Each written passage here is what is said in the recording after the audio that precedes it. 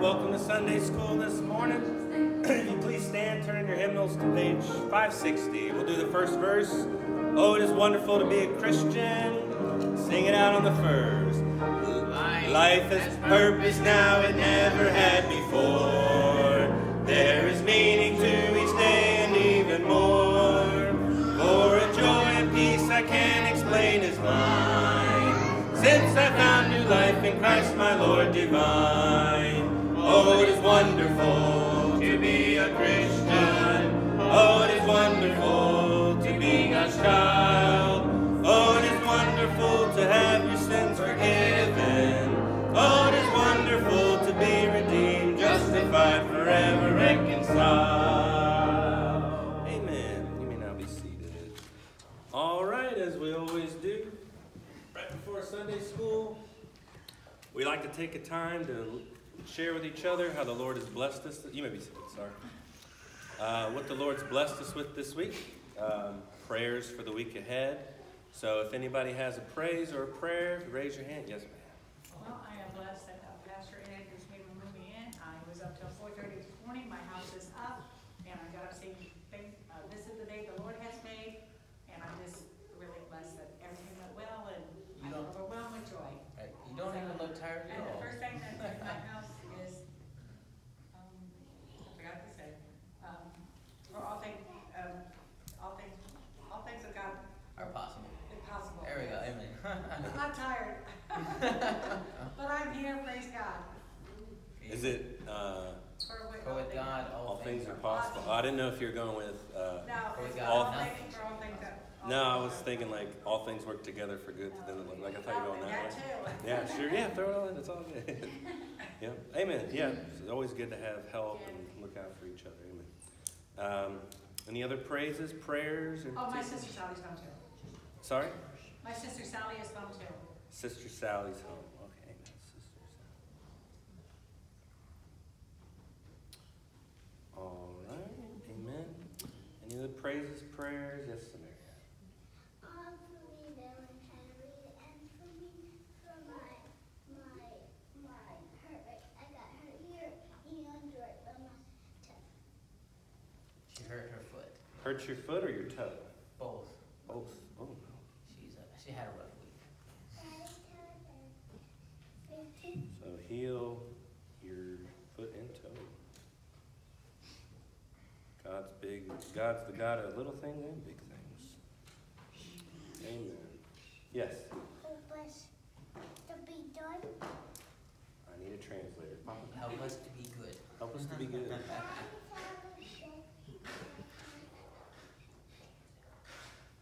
Amen.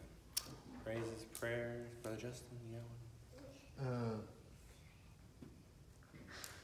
Uh, I I don't have one.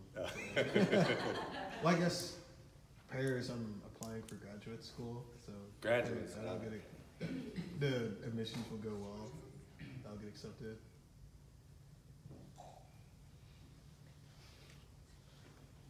They got a high acceptance rate.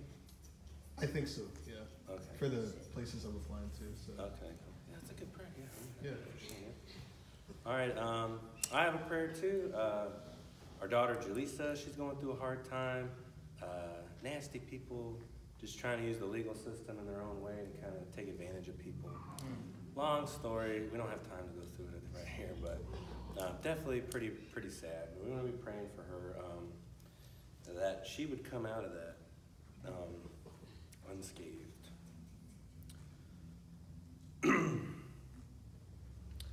And um, uh, I got another. Oh yes.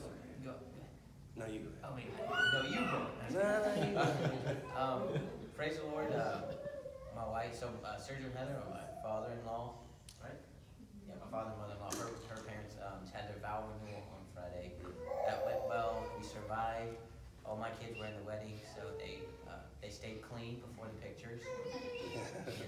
Praise the Lord, it all went smoothly, Yeah. and now we can rest.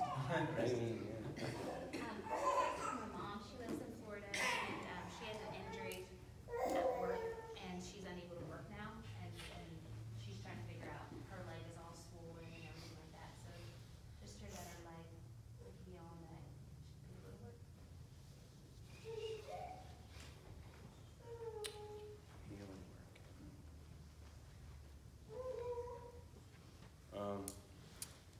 Praise too. Um, really good one.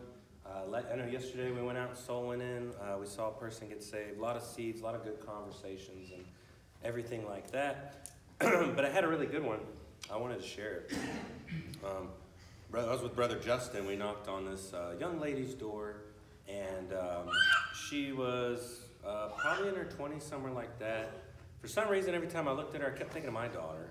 She's about that age. And um, asked her about heaven, hell, what's next after this life. And she had mentioned that um, she wasn't sure. She believed in spirituality, that there was a higher power. She's open to hearing other religions, but basically, she just thought when we die, that's it. We're done. She seemed kind of, she said in a kind of depressing way. You know, it didn't seem very hopeful, which it's not. But um, anyway, we, we, we asked her if we could show from the Bible what the Bible says. And she invited us in very quickly, which was, you know, always very nice when people actually invite you in. And we sat down and started talking with her and uh, going through the plan of salvation. And she was uh, very uh, attentive to listen and um, didn't have a hard time convincing her she was a sinner. Uh, most people are pretty understanding that that's a fact. if you're going to look at someone else and call them a sinner, we do the same things. It's not that hard to connect those dots. So she didn't have a hard time with that. Uh, North understanding the Bible does talk about hell. And um, she had mentioned at that point that uh, she had been to a lot of churches and she would go to one service and she said, I would go in there and I just want some answers because I just don't know. And she'd go in for one service and she said she'd leave because she didn't get it. And um, that struck me at a point too because it's like, well, you know, God sent to you somebody today, even though you went looking yourself, God still loved us. He sent her, sent us to her, this church, and specifically Brother Justin and I, and everybody that we talked to about the gospel. But um, I'll share this with Brother Justin. But um, I took a second to notice that she reminded me of my daughter. And I remember a time that I was praying very much for my daughter to be saved and that God would send somebody to her other than me because so rarely uh, those that we know are easy to witness to. Right. And so um, I was, I, at that moment in the middle of the gospel presentation, though, I thought, uh, somebody's praying for this girl. Somebody's praying for everybody. Everybody in this world has got a broken heart about something, and almost all parents love their children. And they're praying for them in some way. They don't want them to see bad things to happen. And I mean, I don't know this girl's situation. I don't know who's praying for her, but I'm like, somebody's praying for her. If not, God's praying for her. Jesus is. We know that. And I thought, you know, it's why it's so important when we give the gospel. Like, somebody's been praying for this person, and you're there now giving them the gospel. And this is it. This is the moment they've been praying for. And it's so important that when we give the gospel to people that we take it very seriously because it's so very important. And uh, that's not really, a, that might be a nerve wracking thing, but at the moment I was thinking, what do I tell her the most? And it's about the love of Jesus. Tell them how much Jesus loves them Amen. through what he did for them and focusing and emphasizing that so much, especially the cross. And it made a difference. And um, in the end, she accepted Christ as her Savior. And it was a really good one because after the prayer, her face was kind of glowing a little bit with a good smile, which is, um, it's always very encouraging when you see people get it and they're happy and joyful about it. But um, it was something that made me remember to always think of that every single person that we run into, somebody's praying for that person. Somebody wants that person, whether they know it or not, to be saved. They want better things for them. And so at that moment when we give the gospel, we should always be mindful that uh, this is it. It's very important. Prayer to be answered, if not by Jesus, by loved ones as well. And so um, that's a praise and a prayer. always to always have the right focus when we go out soul winning. Amen. Amen. And uh, that was mine. Do we have any other praises or prayer requests before we take these to the Lord? Yes, ma'am.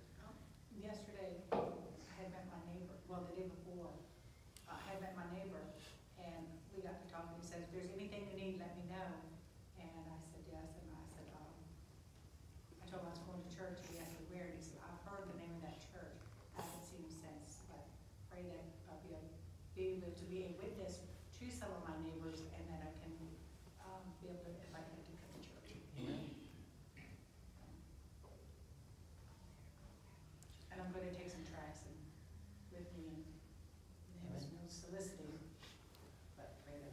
you're not selling something, you'll be okay.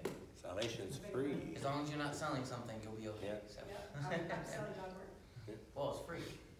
It's It's a free, gift. that's right. Amen. First thing to always do when you move in a new place, let everybody know you're the crazy Christian person that wants to That's invite right. everybody to church. Amen. Good. That's advice. always, always a good thing to do. Yeah. Amen. I'd rather be, I like to be that person. Might as well. They'll think you crazy anyway, so might as well just be crazy for the right reasons. Amen. All right, well, uh, if there's not any more at this time, we'll take these to uh, the Lord in prayer.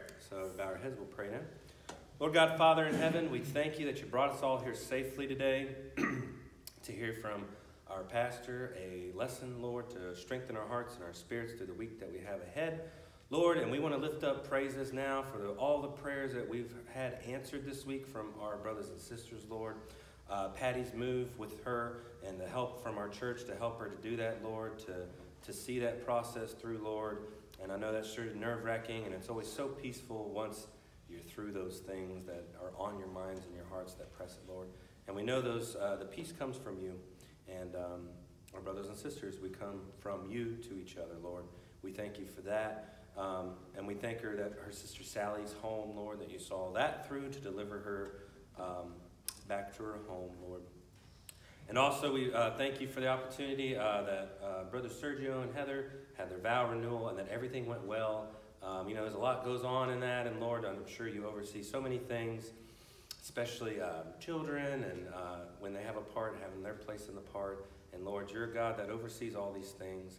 Strengthen our faith in that, and we thank you for that. And pray for Amanda's mother uh, that was hurt, Lord, and uh, not able to get to work. I'm sure that's very stressful. Give her peace in her heart uh, to know that God's that you're that you're over there and you're watching her, and that you'd heal her so that she could um, take those stresses off her, um, Lord, and um, to return to work, as I'm sure that's what she's looking for.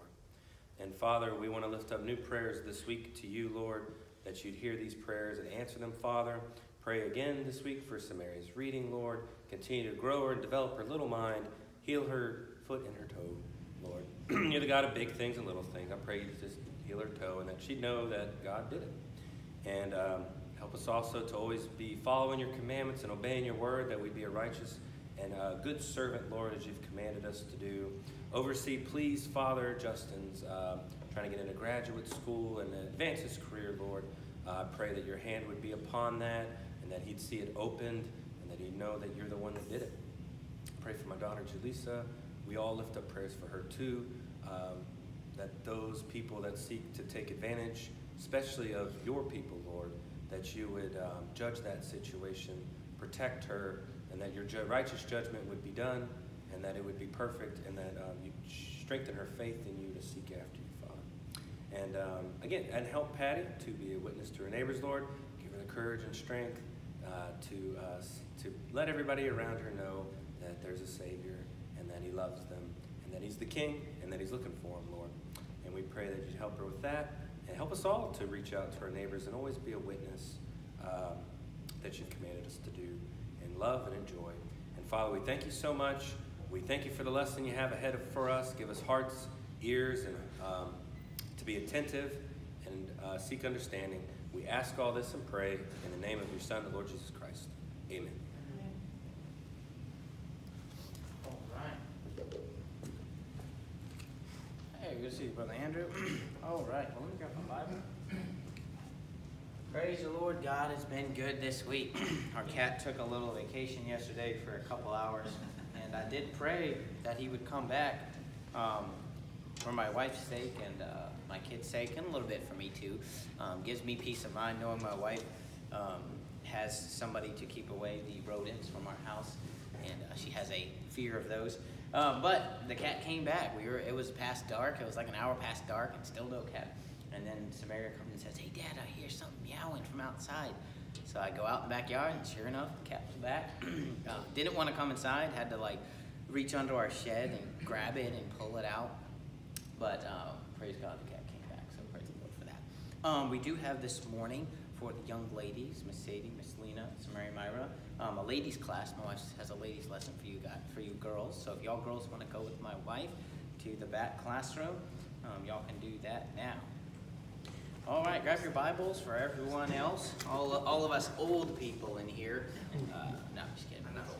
No, you're not old. You're still very, very young and sharp. Oh, old spirit. If y'all are young ladies, go go ahead and go with my wife. And uh, so let's turn in our Bibles to Exodus chapter 12. Had a great day sewing yesterday. Had a good crowd that came out. I appreciate everyone who came out. Um, just a great great time yesterday. Good time of sewing. In Exodus chapter 12. let's see. There we go. And as you know, we've been going through the Old Testament, went through Genesis, the stories of all the pa- what they would call the patriarchs. You got Abraham, Isaac, and Jacob, and then you got the 12 tribes of Israel, Joseph, who moves into Egypt. The family follows him into Egypt. They're in Egypt. Does anyone know how many years the children of Israel are in Egypt for? Four? Yeah. Three. What were you going to say? Oh, like 3,000 years. 3,000? It's wrong. That would be a long time. Uh, That's. So they were in Egypt for 430 years. And to the day, which is really interesting, the same day that they came in is the same day they went out, but 430 years later.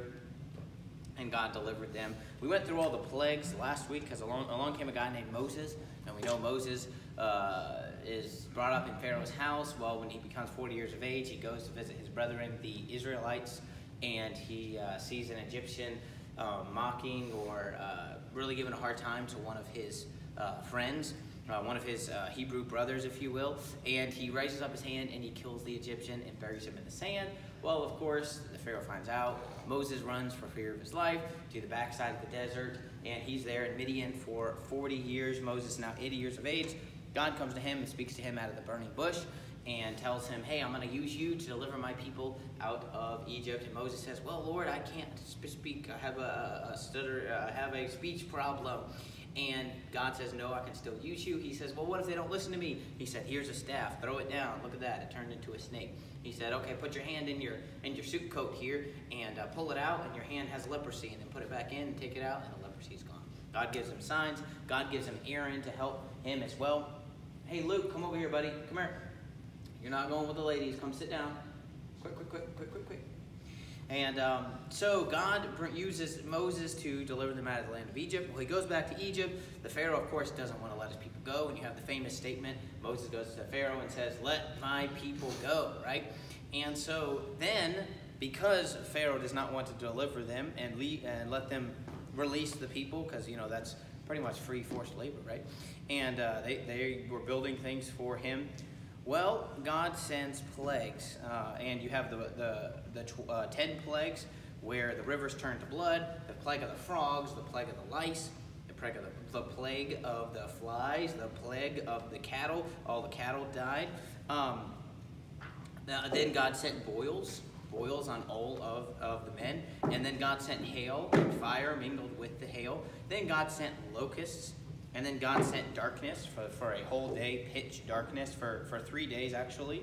And then the last plague was the death of the firstborn, which also coincides with the Passover. We're going to look at that for a little bit this morning. Passover, we didn't we got in a little bit last week, but not completely on it. So I want to go over that.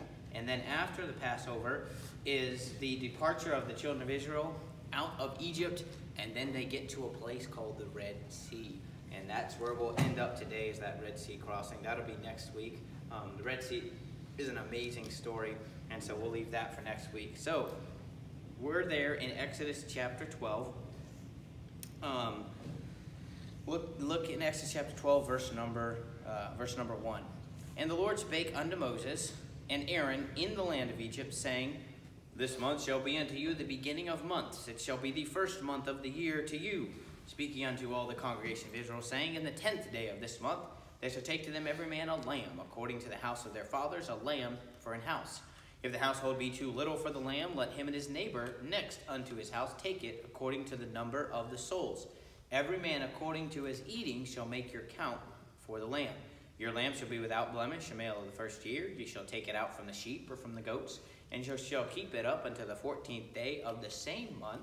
And the whole assembly of the congregation of Israel shall kill it in the evening. So they would take this lamb uh, on the tenth day of the month. and they would keep it until the 14th day. So from the 10th to the 14th day, they're watching this lamb. They're making sure that there's no spot or blemishes on it, that it's as perfect as they can get it, and it's a perfect lamb. Now, why is that? Well, that's a representation of Jesus Christ, who is the perfect sacrificial lamb. There was no sin or guile found in Jesus Christ, and this is a representation of the final sacrifice of the Lamb, Jesus Christ, um, which is prophesied throughout the Bible. So interesting because you talk about, uh, you go all the way back to Adam and Cain and Abel, right? Cain and Abel were supposed to bring a sacrifice to the Lord. Well, who told them to bring a sacrifice to the Lord? How did they know what to do? Um, Cain brought a sacrifice of the fruit of the ground, of what he had planted in his crops, and Abel brought a lamb, a perfect lamb, to sacrifice to the Lord. And God was pleased with Abel's lamb, but not with Cain's sacrifice. Cain got upset, rose up, and killed his brother, right? Well, God had told them and taught them through Adam, or told them specifically that, excuse me, that they were supposed to bring a lamb. It wouldn't make sense for God to get upset at Cain if Cain had no clue what he was supposed to do. No, God, how did Abel know how to bring a lamb? Like he didn't just guess and get it right. No, God had told them what they were supposed to do, and that precedent is set all the way back in you know the whatever that is, the fourth chapter of Genesis there, and um, also you look at the story of Abraham and Isaac. Abraham and Isaac go up to the mount, and Abraham is going to sacrifice his son on the altar. Well, as he rises up his hand with a knife to slay his son, God speaks to him out of heaven and says, Whoa, did y'all hear that? We got some somebody living in the roof. Uh, uh, anyways, um, uh, so uh, he raises up his hand, slay the knife. God stops him. That was God stopping him, by the way. He was saying, "Whoa, hold on!" And God speaks to him out of heaven and says, "Hold back your hand. Don't slay your son." And then, what's interesting is as they're climb- going up to the mount, what does Moses, or what does excuse me, what does Abraham tell his son Isaac? Isaac's like, "Dad, we've got wood, we got the knife, we have things for the fire, we have everything we need for the for the sacrifice, but we don't have the sacrifice." What does Abraham say to his son Isaac? He says, God will provide himself a lamb. And it's interesting wording there. That's what Abraham says all the way back in Genesis. And on the cross of Calvary, God provided himself a lamb, and that lamb was Jesus Christ. And he gave of himself. And so as he raises up his hand to slay his son, God stops him, and then uh, Abraham looks over. I keep saying Moses because we're Moses. Excuse me. Abraham looks over, and what does he see in the thicket? It's not a sheep. It's a ram, right? It's not a lamb, but a ram. And uh, he goes over there and he sacrifices that because the lamb hasn't come yet, and that's when Jesus Christ dies. And so the the that uh, the picture of Christ is throughout the whole Bible. The whole Bible is about Jesus Christ. All the way back in Genesis, the lamb being sacrificed is about Jesus. That's a picture of Jesus. Uh, here um, is also a picture of Jesus Christ, the Passover lamb. And so we see that here in this story. Look down to verse number seven. Very important verse here. This is on the 14th day of the month. And they shall take of the blood and strike it on the two side posts and on the upper doorpost of the house, wherein they shall eat it. And they shall eat the flesh in that night, roast with fire and unleavened bread, and with bitter herbs shall they eat it. Eat not of it raw, nor sodden at all with water, but roast with fire, his head with his legs, and with the purtenance thereof. And ye shall let nothing of it remain until the morning, and that which remaineth of it until the morning ye shall burn with fire, and thus shall ye eat it, with your loins girded, your shoes on your feet, and your staff in your hand, and ye shall eat it in haste. It is the Lord's Passover. In verse 7, God tells us that the blood had to be applied, okay? Jesus Christ is the Lamb, he did die, but unless his blood is applied on your account, on the doorpost of your heart, and on your sin, on your house, if his blood's not applied, it doesn't do you any good. Jesus Christ died for the whole world. His blood is enough to save every person that ever existed. But not everyone will be saved because they have not applied that blood onto their account. So we see the deliverance of Israel is likened unto salvation. As they're delivered from Israel, it's a picture of salvation. Egypt is a picture of sin. The uh, uh, uh, Pharaoh is a picture of Satan. And the Passover here is a picture of the cross, when Jesus Christ died on the cross. Um, and so you see that with Passover, the blood has to be applied. Jesus Christ's blood was applied on the altar in heaven. And you see that talked about in the book of Hebrews, I believe. um, and so Jesus Christ did have to shed his blood. Without shedding of blood, there is no remission of sins. So we see in verses 1 through 6 that there's the preparation for the sacrifice. Preparation for the sacrifice. It had to be a perfect lamb without spot or without blemish. It had to be the right sacrifice, okay? Some people want to be saved by going to church and getting baptized, but that's not the right sacrifice. That's a, it might be a good thing, but that is not the right sacrifice. This, this had to be a lamb, and then it had to be a perfect lamb. It had to be without blemish, a male of the first year. You should take it out from the sheep or from the goats. So a one-year-old lamb or a one-year-old goat without blemish, it had to be a male. Why is God that specific? Well, because it had to be the right sacrifice. Right. Not any sacrifice would be acceptable or suffice to pay for our sin.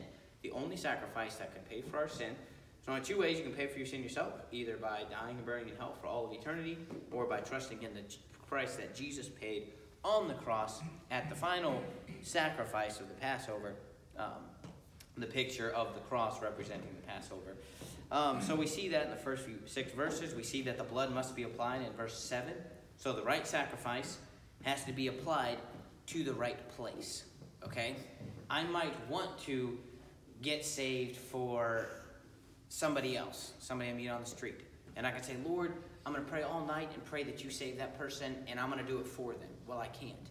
So it has to be the right sacrifice, and it has to be applied at the right place. It has to be applied on their heart, and in their life, and on their mind, um, and on their sin. My uh, Jesus' blood has been uh, applied on my house, on the doorpost of my house, onto my account, but everyone has to do that for themselves. You can't do it for somebody else. And the right sacrifice has to be applied at the right place. And then it has to be applied the right way. In verses 8 through 10, it talks about them eating the Passover. They had to eat it roast with fire, unleavened bread with bitter herbs. They couldn't eat it raw or with water. They had to eat it uh, cooked in the fire. And there's a certain way that they had to eat it. They couldn't let it remain until the morning. If it did, they had to just burn it. Why is that there? Well, the right sacrifice must be applied at the right place in the right way. And that's the process that God is setting up here. And so for someone to be saved, they have to have the right sacrifice. It's not it's not uh, paying the church to uh, you know pray for um, your dead uh, grandma that's passed away and paying them for the priest to pay pray for them out of purgatory into heaven, right? And that that's what people believe. It's called indulgences, and they would take money. You pay us the church, and I'll go and I'll pray for your dead relative, and I'll pray that God takes them out of purgatory and into heaven. And and they collect money on that, which is is crazy. Um, which is not anywhere in the Bible, first of all, but um, it has to be the right sacrifice. Jesus is Jesus Christ and His blood. Then it has to be applied at the right place on the doorposts of our heart. If we just outwardly, there's people that will pray, "Lord, save me," um, but they don't believe in Jesus. They're just doing an outward show, and it has to be there, believing in their heart and confessing with their mouth. Those two things. So it has to be applied at the right place and in the right way. The only way to be saved is through Jesus Christ. And so those three things have to be there. And that's why there's so much detail about the Passover. And that's what the picture is there. The blood must be seen. It, uh, without shedding of blood, there's no remission of sins. That blood had to be applied. And we see that there. Look down in verse number 12. Exodus 12 12. For I will pass, for I, I circled I in my Bible there. The Lord is saying, I will pass through the land of Egypt this night, and will smite all the firstborn in the land of Egypt, both man and beast. And against all the gods of Egypt, I will execute judgment. I am the blood.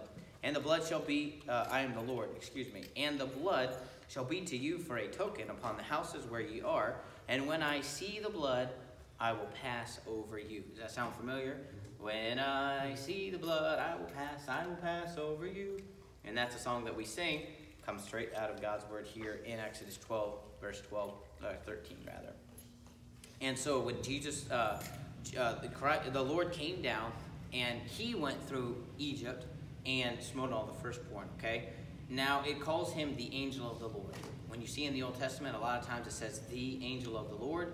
It's actually the Lord there appearing in person as an angel, as a messenger. It's a uh, Old Testament appearance of Jesus Christ. And there's a technical term for that uh, where they say it's a pre-Christ appearance of Christ before uh, he was born, because the Lord's been, you know, Jesus has been through here through all eternity from the beginning, um, wherever the earth was. God's always been here. Jesus has always been here, and so it's an appearance of Jesus Christ here. So he goes through the land and he smites all the firstborn of man and of beast. Can you imagine? Every house, every house, the firstborn is dead. Every uh, house, the firstborn of the cattle is dead. Um, there was a lot of uh, pain going on that night. Look down later on in the chapter. Let's see, where's it at? Um. I think it's okay. There it is. It's in uh, in chapter 12. Look down in verse 29. And it came to pass that at midnight the Lord smote all the firstborn in the land of Egypt, from the firstborn of Pharaoh that sat on his throne, unto the firstborn of the captive that was in the dungeon, and all the firstborn of cattle. And Pharaoh rose up in the night, he and all his servants and all the Egyptians, and there was a great cry in Egypt, for there was not a house where there was not one dead. A lot of people died that night. And that was the Lord's judgment on Pharaoh and on that people. And, uh, you know, people will read the Old Testament and they'll say, why did God judge the people this way? Well, the Lord's the perfect righteous judge. Um, we can't question his judgment. We just trust his judgment. Um, he'd given them chance after chance after chance. He sent all the plagues. Uh, Moses and Aaron were there. Um, they had had all the chances to let them go and to follow God, and yet they didn't. And so this is God's judgment coming down, and in a way, it's coming down pretty hard. And so after this happens, uh, Pharaoh's pretty much like, y'all just get out of here quick, because if you don't get out of here, we're all going to die, right? Um, every house, someone has passed away. And so they pretty much chase them out of the land. Look in chapter 12 there, look down in verse number 40. And we mentioned this a little earlier. Now, the sojourning of the children of Israel who dwelt in Egypt was 430 years. For it came to pass at the end of the 430 years, even the self same day, it came to pass that all the hosts of the Lord went out from the land of Egypt. So they leave Egypt, and it's been exactly 430 years. And there's a lot more in that chapter where it talks about uh, more of the Passover, and uh, you know, it talks about strangers or people not from the land of Egypt if they're traveling through. They can, under certain conditions, partake of the Passover, um, but they have to meet certain conditions. And so um, it's a representation of anyone can be saved. Anyone can partake in the Passover. Um, they just have to come to the Lord with a willing heart and an understanding of the gospel, trust and believe in Him, and they can be saved. Um, it doesn't matter what color you are, uh, what race, religion, ethnicity. It's all one race, anyways, the human race. Praise God. And so that is representation of the Passover, which is a representation of salvation and the cross. So we see the preparation for the sacrifice it has to be the right sacrifice at the right place, applied to the right place, and in the right way, in God's ways. It's amazing how the Lord does things in threes. Throughout the Bible, you find things happening in threes. It's uh, it's a it's a number of perfection or completion. The Lord, the Godhead, is in three persons. God the Father, God the Son, God the Holy Spirit. God created us as humans with a body, a soul, and a spirit in threes. Throughout all of creation, things happen in threes. And so that's God's number of, of the Trinity or unity, if you will. Um, look over in the next chapter, chapter 13. Look down in verse number 17. Chapter 13, verse number 17. And it came to pass, when Pharaoh had let the people go, that God led them not through the way of the land of the Philistines, although that was near. For God said, Lest peradventure the people repent when they see war, and they return to Egypt. But God led the people throughout, through the way of the wilderness of the Red Sea, and the children of Israel went up harnessed out of the land of Egypt. So God doesn't lead them straightly, directly to where He wants to go. And in our lives, that's sometimes how it is. Sometimes we say, Lord, this is where I want to be, right here. And God says, okay, but I'm going to lead you round about this way. Now, why would God do that? Well, God knows that if we see war, we can be turned back and disheartened. And so God has a plan. Sometimes in our lives it seems like, man, Lord, you're making me do a detour. What's going on here? Lord, um, I'm supposed to be planting a church in Chesapeake. Why are you sending me all the way up to Hampton? There's a long detour around here, right? Um, the Lord has a plan and a purpose, and God knows best. The Lord knows better for us than we do. Um, I don't want to be in the control of my life, making my own decisions, because most of my decisions are probably going to be bad, right? We want the Lord to guide us and make those decisions for us, and we just follow Him. And so sometimes God has detours in our life, and that's okay. God knows He lead as long as it's God's leading. If we say, Lord, I know you want me to go that way, but I'm going to do my own detour. That's that's not what I'm talking about. Here it says God led the people about. Detours are not bad if God leads them. But if God doesn't lead them and you say, Lord, I know, I know you want me to uh, go and conquer this mountain like Caleb, but I'm not ready for that in my mind, so I'm gonna I'm gonna take a break. I'm gonna go do this detour. Well, that's an excuse, right? And so make sure it's the Lord leading you. A lot of times we can say, well, God opened this door for me, and sometimes it's just us opening the door ourselves. And so I can't tell you exactly what God's will is for you, other than what's in Scripture. I know you're supposed to go soul winning, supposed to be saved, supposed to live a righteous, holy life, supposed to please God, supposed to pray, and God will lead you specifically.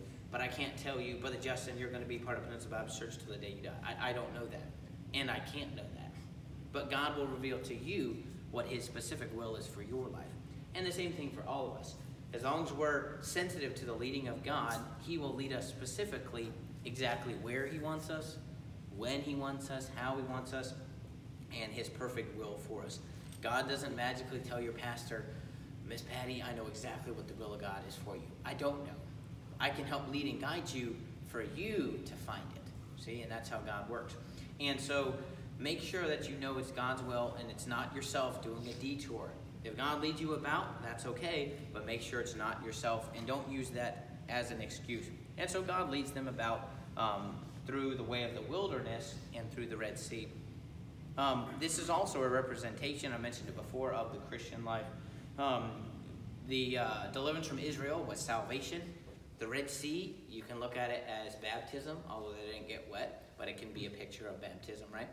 And then um, the wilderness and, and living in the wilderness and into the promised land is the Christian life. And sometimes God leads us, sometimes we feel like we're in a desert. And uh, even in the desert, though, God has provisions for us. He's got manna from heaven, He's got water from a rock, He's got shoes and clothes that never wear out and that grow with us. God has all these provisions for us. So God leads us about. How does God lead us? He leads us in different ways. God leads generally and specifically.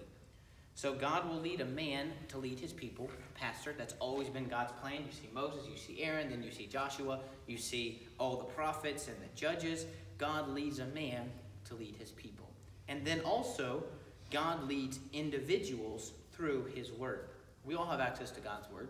We all can get the instruction and leading of God's word straight from the Bible. You don't have to come to pastor to uh, to find out what God's word says. No, it's right in God's word. You can find it for yourself. But then generally, God will lead his people through his man and through the pastor, and that's always been God's plan. So he leads generally and he leads specifically. Um, look in, let's see. Okay, we're right there. We were in chapter uh, 13. We're in cha- verse 18. Look at verse 19. Interesting thought right here. And Moses took the bones of Joseph with him. Now hold on. If they've been there 430 years, these are some old bones, right? Well, the Egyptians knew how to embalm, and some of the bodies of the Egyptians are still uh, around today because of the processes that they did to mummify them and all that stuff. How are you doing? Good to see you again. Um, and so he takes the bones of Joseph with him because it was a prophecy. You continue reading in verse 19. For he had straightly sworn the children of Israel, saying, God will surely visit you, and he shall carry up my bones away hence with you. So he takes Joseph's bones. Verse 20. And they took the journey from Succoth and encamped in Etham in the edge of the wilderness. And the Lord went before them by day in a pillar of a cloud to lead them uh, to lead them the way, and by night in a pillar of fire to give them light, to go by day and night. He took not away the pillar of the cloud by day, nor the pillar of fire by night from before the people. So God leads them during the day in a pillar of a cloud, and then by night in a pillar of fire to give them light and keep them warm. Um, in the desert at night, it gets very cold. Days are super hot, but then at night, it'll get extremely cold. It's, it's just an interesting environment. And so God provides a cloud for them. I mean, that's shade during the day, and it's leading them around. Imagine, you know, the children of Israel just following a cloud, right? Imagine all the, the, the people around it. Look at these goofballs. They're following a cloud around. What are they doing? Like, don't they know clouds just float around? All the, like, what? Why are they picking that cloud? I mean, there's a cloud over there, right? Um, and then at night, there's this, I guess, a pillar of fire, um, some sort of fireball or something, um, that would uh, lead them during the night and would keep them warm and uh, give them light as well. And that's a representation of the Holy Spirit. In the New Testament, the Holy Spirit's called a fire. Uh, in the New Testament, at Pentecost, when the Holy Spirit comes down, it's a rushing mighty wind, right? So it's like a picture of um, the Holy Spirit, which helps to lead us, helps to guide us.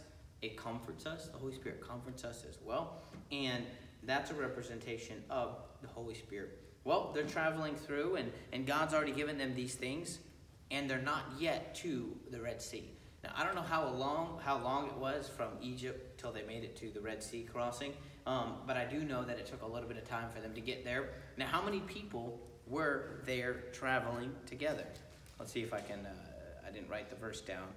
Oh, here we go. It's in chapter 12, in verse number 37. And the children of Israel journeyed from Ramses to Succoth, about 600,000 on foot that were men, besides children. So 600,000 men.